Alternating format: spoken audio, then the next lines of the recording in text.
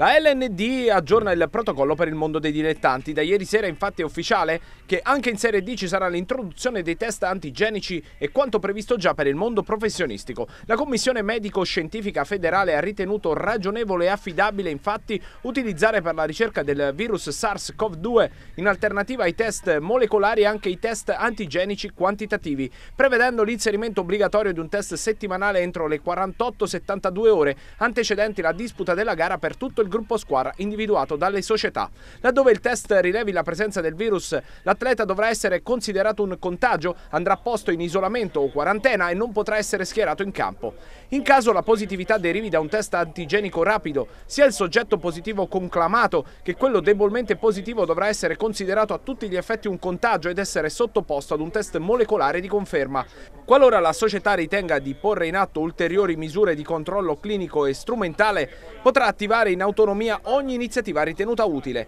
Raccomandato è l'utilizzo almeno iniziale di test sierologici per la ricerca degli anticorpi anti-SARS-CoV-2. Tutti i componenti del gruppo squadra dovranno comunque compilare almeno settimanalmente e ogni qualvolta si verifichi un mutamento dello stato di salute individuale o se ne presenti la necessità l'autocertificazione sul loro stato di salute e su eventuali contatti con soggetti Covid positivi intervenuti nei giorni precedenti l'allenamento, la gara o comunque l'ingresso presso il campo di gioco di allenamento da far pervenire al medico sociale o al medico addetto al protocollo. Con la modifica dello stesso, la gestione dei casi di accertata positività al virus consente il proseguimento degli allenamenti per i soli componenti del gruppo squadra che non siano positivi. In ogni caso è obbligo del medico sociale o del medico addetto al protocollo in caso di positività al test molecolare o antigenico rapido darne immediata comunicazione alla ASL competente per territorio e al medico di medicina generale. Le persone che pur non presentando più sintomi continuano a risultare positivi al test molecolare